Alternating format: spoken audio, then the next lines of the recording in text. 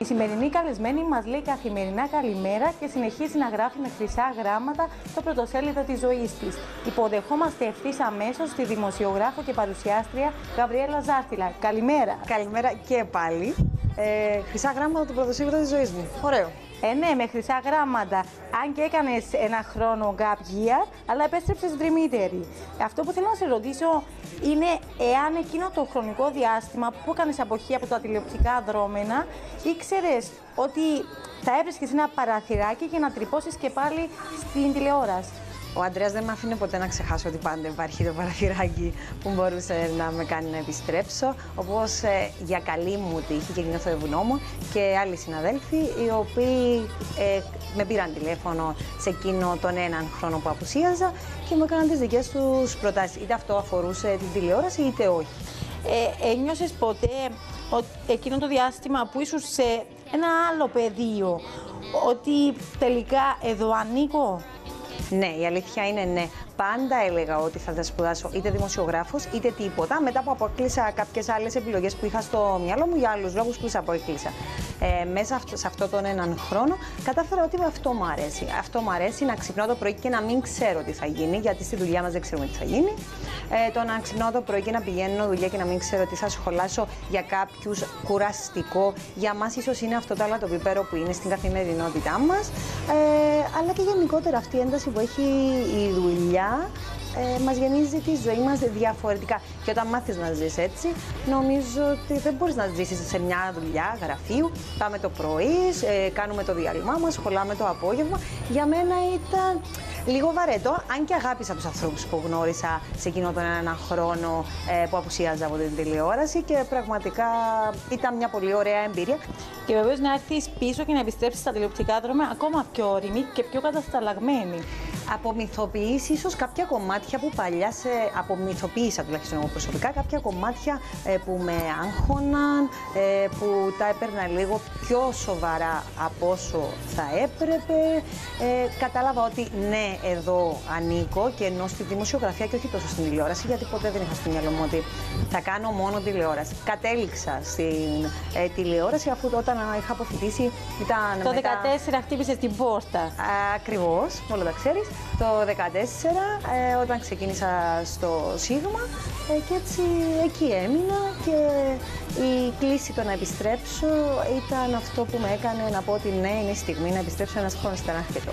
Πριν από το Σίγμα, ορισμένοι μπορεί να μην γνωρίζουν ότι βρισκόσουν και στην παραγωγή του όνειρο ήταν. Ναι, ε, άλλωστε οι άνθρωποι του Σίγμα το γνωρίζουν πάρα πολύ καλά. Έτσι με, έμαθε, με έμαθαν. Ε, άλλωστε ε, και μετά, αφού του πήρα το πτυχίο της δημοσιογραφίας μου και ήμουν σίγουρη ότι θέλω να ασχοληθώ με τη δημοσιογραφία και όχι με τα παρεμφέρη της τηλεόρασης, ε, κατέληξα στο να είμαι στο Σίγμα μετά από συζητήσεις που είχαμε κάνει. Άλλωστε και την πρακτική μου εξέταση την είχα κάνει στο Σίγμα. Έτσι, νομίζω κάπως η ζωή με έφερνε πάντα προς το Σίγμα. Για κάποιο λόγο, το λόγο της θα τον έχει, θα τον μάθουμε στη συνέχεια. Εάν τώρα σου έθετα τρία bullet points, το πρώτο ως συνεργάτης, το δεύτερο ως φίλος και το τρίτο ως οικογένεια για τον Ανδρέα, θέλω να μου πεις σε κάθε bullet point από μία λέξη. Ο Ανδρέας είναι φίλος Παύλα οικογένεια γιατί ήταν εκεί και στις πιο ε, σημαντικές στιγμές μου και στις πιο δύσκολες. Γι' αυτό το βάζω το πάντα εκεί. Ε, ως συνεργάτης ε, είναι το καλύτερο που μπορεί να τύχει στον κάθε νέο δημοσιογράφο. Ο δεν μπορώ να το πω μια λέξη, καταλαβαίνεις. Το καλύτερο που μπορεί να τύχει σε έναν νέο δημοσιογράφο που μπαίνει στον χώρο να έχει ε, δίπλα του ένα άτομο σαν τον Ανδρέα, ο οποίος δεν φοβάται τίποτα, μπαίνει μπροστά, δίνει χώρο και χρόνο. Εάν σου έκαναν πρόταση από άλλο κανάλι να είσαι στην ίδια ζώνη με τον Ανδρέα Δημητρόπουλο, αλλά να είσαι απέναντί του, θα πήγαινες; Όχι. Όχι. Δεν είναι θέμα κανάλι, είναι θέμα Ανδρέα εδώ. Δεν θα το έκανα. Είτε είμαι μπροστά, είτε είμαι πίσω από τις κάμερες, δεν θα πήγαινα απέναντι από τον Ανδρέα. Αν ο Ανδρέας ε, αποχωρούσε για τους δικούς του λόγους στο μέλλον, ε, θα το σκεφτόμουν. Τη δεδομένη στιγμή με τα δεδομένα ε, που έχουμε σήμερα, όχι απέναντι από τον Ανδρέα, όχι γιατί ε, είναι ο Ανδρέας ε, και πάει πάρα πολύ καλή εκπομπή και ο φόβος το να μετρηθεί στον καλύτερο, που άλλωστε από τον καλύτερο έμαθα, ε, αλλά στο ότι θα ήταν, νιώθω ανέντιμο εκ μέρους μου μετά από τόσα χρόνια συνεργασίας και μου πήρε από το χέρι και μου δείχνει όλα αυτά, εγώ να κάνω τέτοιο πράγμα. Να δαγκώσει το χέρι που σε ταΐζει. Ε, κάπως έτσι είναι, κάπως έτσι είναι. Ε, είναι ο άνθρωπος που μου έδωσε χώρο, χρόνο, ε, στα λάθη μου με χειροκρότησε πιο πολύ από ότι στα σωστά μου. Και για μένα αυτό είναι το πιο σημαντικό. Ε, ποια ήταν εκείνη η στιγμή που αντιλήφθηκε ότι ο Ανδρέας όντως θα δώσει μάχη για να σε κρατήσει ή να πατήσει πόδι ε, όταν ε, ας πούμε συμβεί κάτι στα παρασκηνιακά ή να ακούσει κάτι που ενδεχομένως να είπαν για σένα και να μην ισχύει.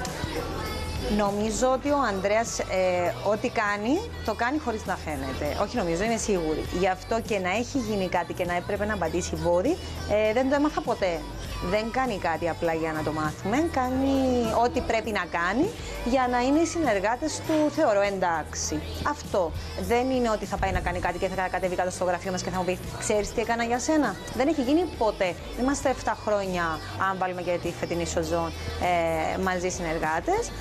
Ε, δεν έχει γίνει ποτέ αυτό. Πώς έγινε η γνωριμία με τον Γιώργο; Όπως σου είπα ότι το Σίγμα μου καθόρισε τη ζωή μου.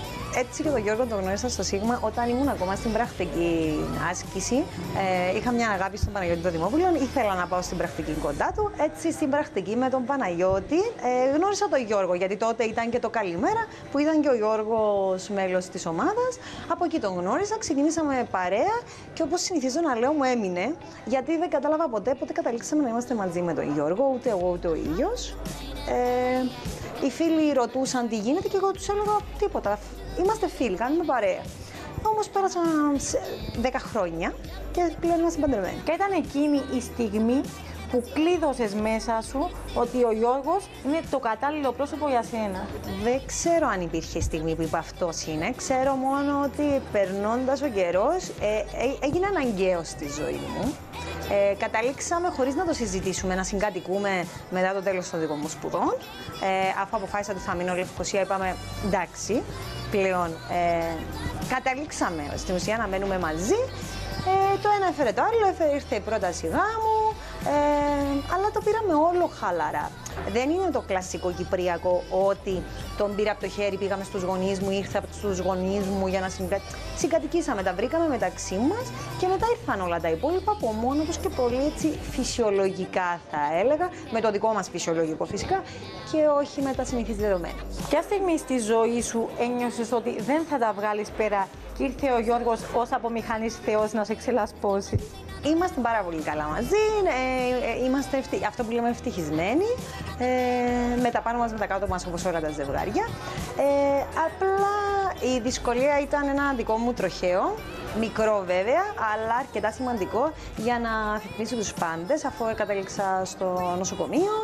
Ήμουν έτσι πέντε μέρες, αν δεν κάνω λάθος, στο νοσοκομείο. Ήμουν ακινητοποιημένη για τον υπόλοιπο ένα μήνα με κολάρα και όλα τα συνάφη. Μου πήρε κάποια ένα-δύο χρόνια να επανέλθω στο 100% όμως να αφορά τα προβλήματα που μου άφησε. Ε, ένα περιστατικό που μου έδειξε ότι είναι και στα δύσκολα. Μέχρι εκείνη τη στιγμή δεν μας είχε έρθει κάτι τόσο δυνατό και το, μια μεγάλη δυσκολία, ρε παιδί μου, που να δεις ότι ο άλλος είναι εδώ ουσιαστικά ε, και δεν είναι απλά για τα εύκολα, τα χαρούμενα, που ε, όντως υπάρχουν άνθρωποι που είναι εκεί στα εύκολα, στα δύσκολα εξαφανίζονται. Δεν εξαφανίστηκε, ήταν εκεί πιο ουσιαστικά από ποτέ. Ε, πράγμα που ναι, το περιμένεις, αλλά δεν το έχεις και δεδομένο τη σημερινή ημέρα. Ήμασταν ήδη, συγκατοικούσαμε ε, μαζί. Ε, και μου είχε κάνει ήδη πρόταση γάμου, αλλά ο γάμος συνεχώς έπαιρνε αναβολή χρόνο με το χρόνο. Μετά από εκείνον νομίζω ότι πίστηκα ότι έπρεπε να παντέ... Όχι έπρεπε. Ήθελα να είμαι για πάντα μαζί του και προχώρησα στο να οργανώσω το γάμο μετά που επανήλθα από το τροχαίο. Τώρα θέλω να δώσεις βάση διότι θα σου θέσω δύο ερωτήματα. Αυτό φοβόμαι. Το πρώτο έχει να κάνει με το τροχαίο. Τα μαλλιά σου πριν από δύο με τρία χρόνια ήταν μακριά. Τα έκοψες όμως λόγω του τροχαίου, έτσι; Όσοι υποφέρουν από τον αυχένα ναι. καταλαβαίνουν ότι το βάρος των μαλλιών, αν έχεις και βαρύτα μαλλιά, δεν βοηθά. Γι' αυτό επέλεξα να είμαι στο κοντό μαλλί για να βοηθώ τον, τον οργανισμό. Το τροχαίο σας έφερε ακόμα πιο κοντά στο Θεό; Ε, εγώ έχω σχέση με την Εκκλησία και με τα Θεία γενικότερα. Θα πάω Εκκλησία, δεν θα σου πω ότι όλη μέρα είμαι στη Μετάνια. Ε, ο Γιώργος δεν έχει ε, κάποια σχέση ιδιαίτερη. Ε, με χαρά του πήγαμε στην εκκλησία να παντρευτούμε. Ε, εγώ έχω το δικό μου εξομολόγο κτλ. Θα του μιλήσει ο Γιώργος, αλλά δεν είναι ο τύπος που θα πάει να εξομολογηθεί, θα νηστέψει, θα μεταλάβει και αυτά. Και είναι σεβαστό. Δεν θεωρώ ότι ένα ζευγάρι πρέπει και οι δύο ξαφνικά επειδή ο ένας. Οτιδήποτε είναι αυτό, είτε είναι η θρησκεία είτε είναι οτιδήποτε, να πηγαίνουμε στις ίδιες γραμμές γιατί απλά ο ένας το θέλει. Όχι. Έχεις εξαιρετική σχέση με τα παιδιά και αυτό το βλέπω και καθημερινά, διότι σε βλέπω έτσι που ασχολείσαι με τα βαφτιστήρια σου. Ε, θέλω να μου πεις, εάν εσύ έχεις τα πλάνα σου να κάνεις το εγγύς μέλλον ε, παιδιά; Αυτή η ερώτηση δεν έπρεπε να υπάρχει. Θεωρώ, ναι, το λες επειδή με βλέπεις με τα νύψια μου, με το βαφτιστικό μου κτλ.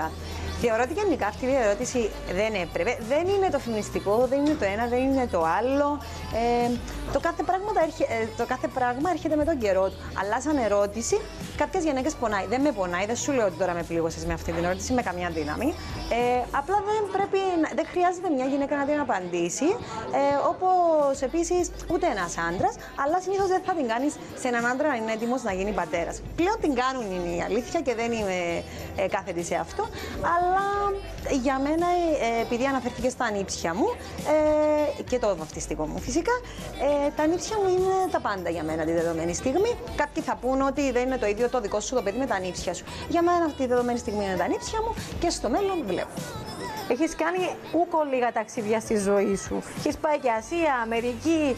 Τι να λέμε τώρα. Θέλω να θυμηθείς μια αναπάντεχη εμπειρία που σου είχε συμβεί από εκείνα τα ταξίδια που έχει πάει και να σου έχει αλλάξει την κοσμοθεωρία. Το πιο χαρακτηριστικό για μένα που θα μου μείνει για πάντα είναι όταν είχαμε πάει Παρίσι και στη Champs-Élysées, όπου είναι η πόλη του φωτός, ήταν Χριστούγεννα. Ε, τα βλέπουμε από τις τηλεοράσεις, η Champs-Élysées φωτισμένη, πολύχρωμη, όμορφη. Και πίσω από τους θάμνους είχε αστέου. Για μένα αυτό ήταν περίεργο, ήταν, ήταν μεγάλη αντίθεση. Πήγε, περίμενα να πάω κάπου να δω αυτό το όμορφο που βλέπω από την τηλεόραση και το ότι πίσω από τους θάμνους ήταν η άστεγη ε, με ξένησε. Με ξένησε πολύ. Πράγμα που δεν το είδα τις επόμενες φορές που πήγα, αλλά αυτή η πρώτη φορά πριν χρόνια ήταν, ήταν όταν γύρω στο 18, αν δεν κάνω λάθος, ε, μου ξένησε. Στις υπόλοιπες χώρες, ναι, βλέπεις άστεγους, αλλά καταλαβαίνεις ότι αυτοί οι άστεγοι έχουν κάπου να μείνουν. Είναι, είναι κόσμος απλά που δεν, υπάρχει, ε, δεν έχει την ευχαίρεια των χρημάτων, αρκετά χρήματα για να ζήσει, αλλά είναι, είναι καλύτερα. Λοιπόν, τώρα θα κάνω ένα απίστευτο συνειδημό. Δεν ξέρω πώς μου ήρθε, με με ρωτήσεις. Θα πάρω τον αριθμό 7 και θα το συνδέσω με την ταινία του Will Smith, το 7 Pounds, όπου εκεί ο Will Smith είχε δωρήσει τα ζωτικά του όργανα. Και θυμάμαι βεβαίως σε μία από τις εκπομπές του πρωτοσέλιδου ότι είχε σχετικό θέμα γι' αυτό και είχες αναφέρει ότι και εσύ θα δωρήσεις τα ζωτικά σου όργανα μετά θάνατον. Πώς πήρες την απόφαση, ε, Μετά από μια, ένα σχετικό πάλι θέμα στην εκπομπή πριν χρόνια, ε, είχαμε μιλήσει πώς μπορεί να γίνει κάποιος μεταθάνατιο δότης και θεώρησα ότι από τη στιγμή που βγαίνω μπροστά και υποστηρίζω ότι ο κόσμος πρέπει να το κάνει αυτό, είναι αστείο να μιλώ γι' αυτό, ενώ δεν το έχω κάνει. Γι' αυτό το έκανα πράξη. Μπήκα στη διαδικασία, έκανα την αίτηση ηλεκτρονικά όπως πρέπει να γίνει και ο καθένας μπορεί, αν το ψάξει να γίνει. Είναι πάρα πολύ εύκολη διαδικασία, δεν πας πουθενά, δεν κάνεις τίποτα και έρχεται απλά μετά από καιρό μια επιστολή στο σπίτι που σου λέει ότι όντως μπήκε στο αρχείο για να είσαι μεταθανάτιο ε, δότης. Δεν θεωρώ ότι έκανα κάτι. Ε, έχω πει ξανά και στην εκπομπή ότι αυτό έπρεπε να είναι δεδομένο και όποιος δεν θέλει να ανήκει σε αυτή τη λίστα, απλά εκείνη τη στιγμή να κάνει τη σχετική αίτηση, γιατί έτσι θα μπορούσαν να σωθούν πάρα πολλές ζωές. Πράγμα που δυστυχώς δεν είναι τόσο μεγάλα τα ποσοστά ατόμων που δηλώνουν για μεταθανατηδότηση. Ίσως να φοβούνται, ίσως... Ε, υπάρχει μια κακή έτσι, σκέψη το ότι δεν θα με φροντίσουν τόσο για να παραμείνω στη ζωή αν υπογράψω αυτό το χαρτί. Εγώ θεωρώ ότι δεν ισχύει κάτι τέτοιο, γι' αυτό άλλωστε και προχώρησα και το έκανα. Ε, έχω ενημερώσει τη, τη, μία μου αδερφή, γιατί πρέπει να, συμπληρω... να βάλεις και ένα άτομο πάνω το οποίο γνωρίζει. Ε, αυτό αυτό δεν θεωρώ ότι ένας γιατρός ξαφνικά θα μάθει ότι στην άλλη άκρη του κόσμου έχει έναν άνθρωπο που θέλει μια καρδιά και ξαφνικά θα σε αφήσει να πεθάνεις. Δεν θα γίνει αυτό. Μεγάλη καρδιά έχεις και εσύ, Γαβριέλα Ζάρτιλα, διότι έχεις εξαιρετική σχέση με την οικογένειά σου και πάντα ε, με τον ΑΒ τρόπο ε, ξελασπώνεις την κατάσταση. Ο, απλά είμαστε πάρα πολύ δεμένοι. Οι γονείς μου κατάφεραν να είμαστε πέντε